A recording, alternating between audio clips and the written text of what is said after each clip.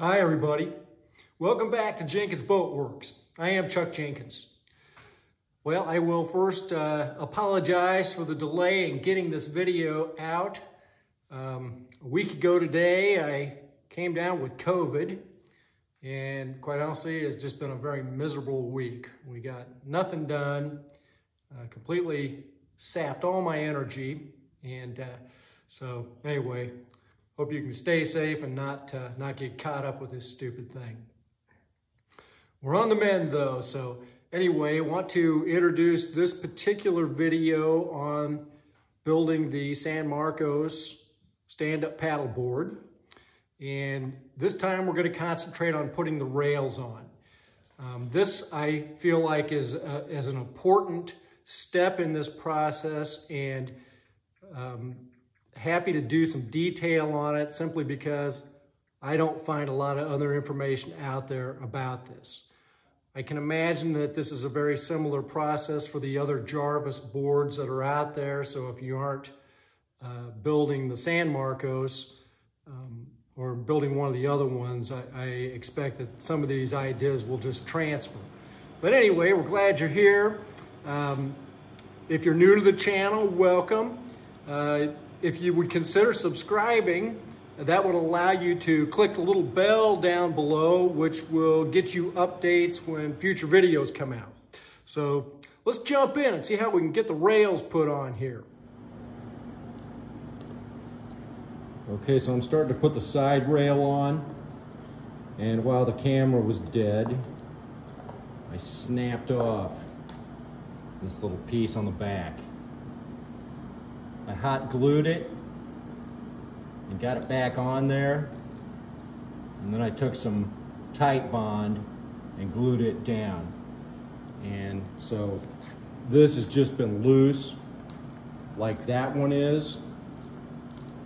And I am going to butt block these rails once I get them on here because I want to make sure they're going to glue together right. So I'm just using whatever I can to kind of try to hold them on there. I've got another little bungee cord here that we'll use and put on that other side. So, but we got everything else glued down and I'm real happy with it. It just looks great. Got a really nice straight line going down the center. And uh, won't be long we'll be able to start putting some strips on.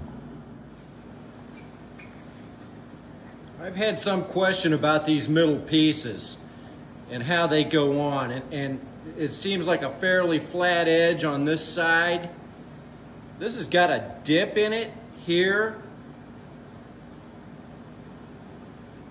which I still don't completely understand. Um, but this part seems to be the flatter part. This hole here will only go on back here to mate up with that other one. So that doesn't confuse me too much. Just going to kind of test fit it.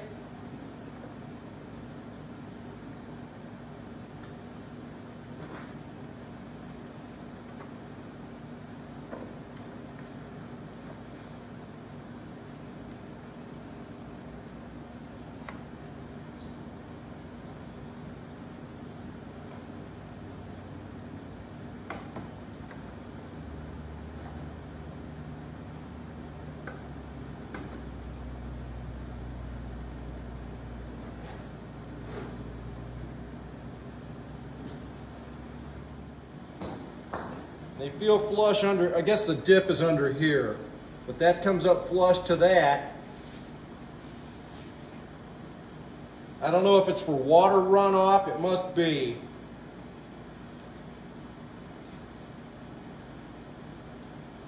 Try the other side, maybe you can see better.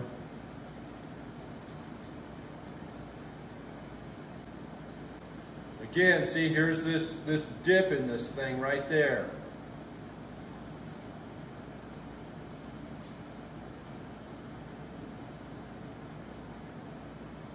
This cannot go this way because it would overlap this too much. So it has to go this way. But there's that dip, and I believe that dip goes on the bottom. So that's the rest of it.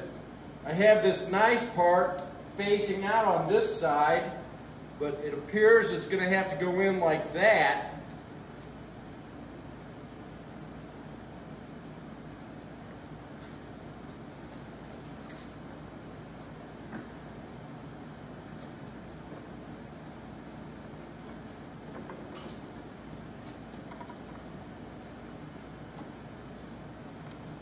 It is somewhat comforting to see how nicely those just snap right on there because that tells me that the, the jig, the, the rest of it is really pretty straight.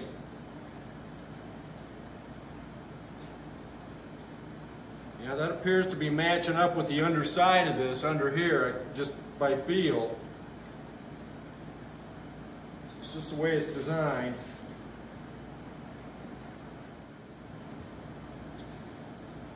I've got this kind of plastic stuff I got from a packing company a long time ago. I was helping my mom move some stuff. It's called flat twine.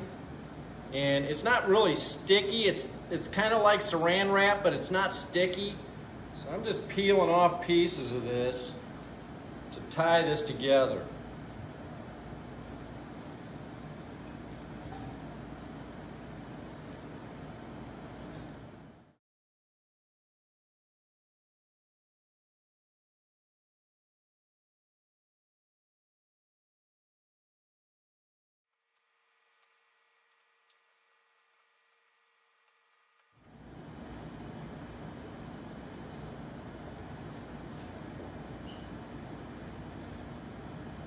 Just take my Titebond, I'm using Titebond 3. I'm just putting a little bit on my fingers and running it on these joints like that.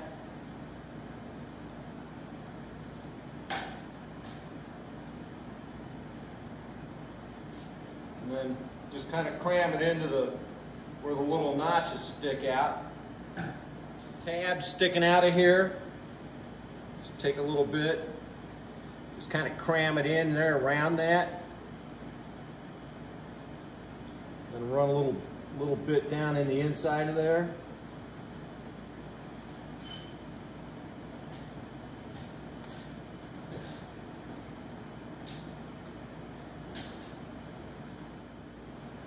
Oh, my kindergarten teacher would be so proud. Chuck, what are you doing? Getting glue all over yourself. No, I, I don't need any help.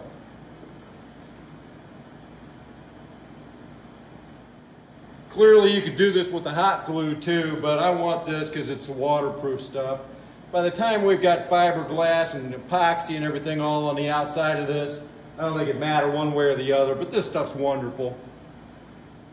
I was outside earlier when I first came back up here.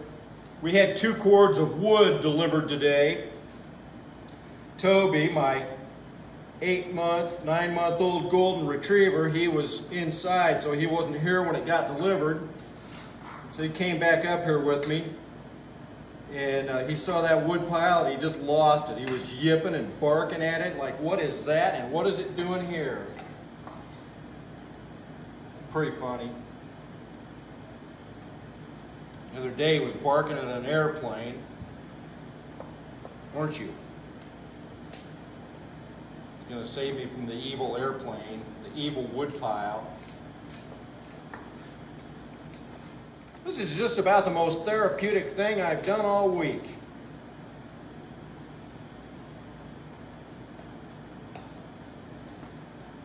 It's mindless and it's not.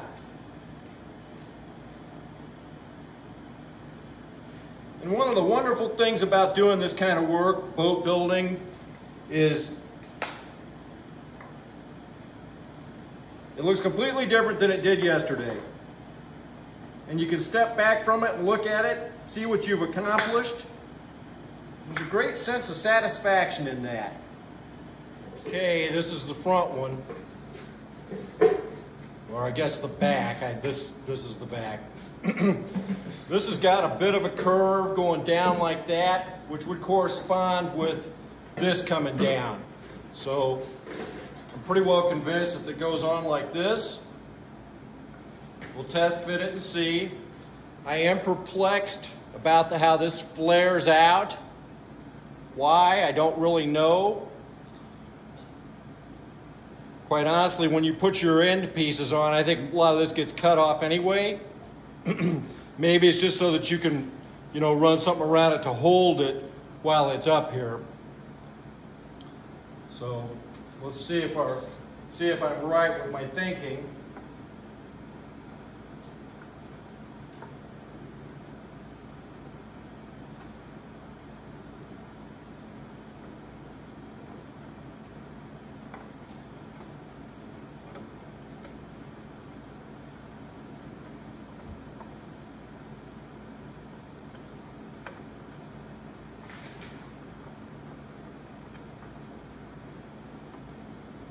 Looks like that's going to be right.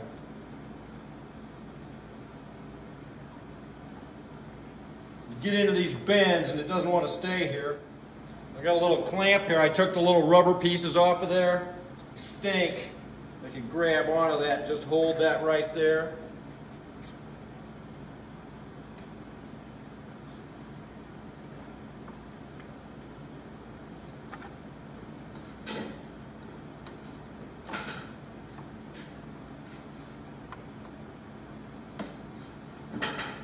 Yeah, I believe that's right.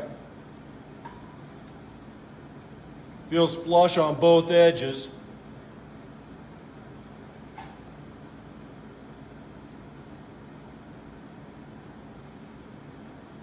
The Jarvis board website, it doesn't really show, they've got some videos which are helpful, but it doesn't really show putting these rails on. This was one of the most perplexing things I I noticed when I was un unboxing everything and taking the pieces out and looking at them. Just uh, kind of confusing. So,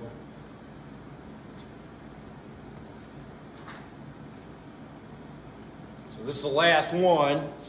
Obviously that goes that way. And I believe it goes like that.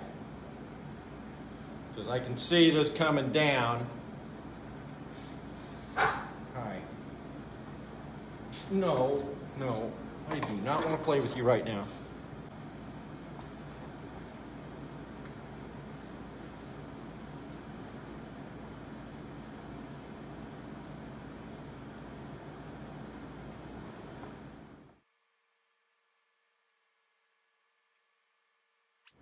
This is what I'm talking about, about these stick out past this one. That uh, has been confusing from the very start. We'll just take some of that saran wrap, whatever it is, and tie that around there. I feel fairly certain some of this is just going to get cut off when we get done at the end.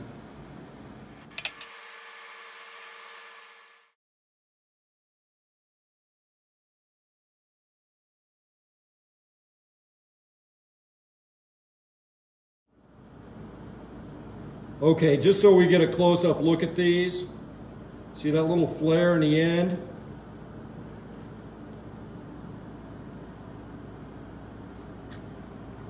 There's different ways to tell that you're getting it on there. Pretty much it just goes one way and you just gotta think about it and play with a little bit. We'll have to glue those together. I'm just gonna pull a little block on the inside of that to glue that together. Similarly, same thing down here.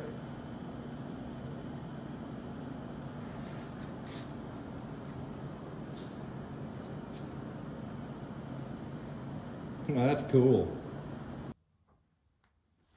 One final important note on these rails. I glued these up with little pieces on the insides, but not on the outsides we're going to have to build these rails up. And I know on the Jarvis Boards website, he shows got little pieces, you know, plywood or whatever to glue these on both sides. but I just didn't feel that it was necessary. The other thing I'm glad I did is I'm glad that I glued these rails together, these three pieces, once it was going on to the actual uh, frames. And part of the reason for that is that um, I was worried that if I butt jointed those exactly tight together, that they might not flow with the fair of this. Um, in other words, where this is here, it almost you can almost see more of a gap down there at the bottom than the top. I can almost stick my fingernail in there where I can't there. It looks very fair the way I did it, but had I glued those together before, I may have run into a problem with getting these to attach to the, to the cross pieces. So that may be different than, than other people might do it, but it certainly worked for me. So um, the rest of this that's been perplexing is once we get the skins on or the planking, then we will be building these sides up with solid material. So at that point, we'll have to trim off all the little tabs that are sticking out, but you know, those are what we use to glue it up. So uh, for now, that's good. And I'm getting ready to think about doing some of the stripping or putting the skin on, if you will.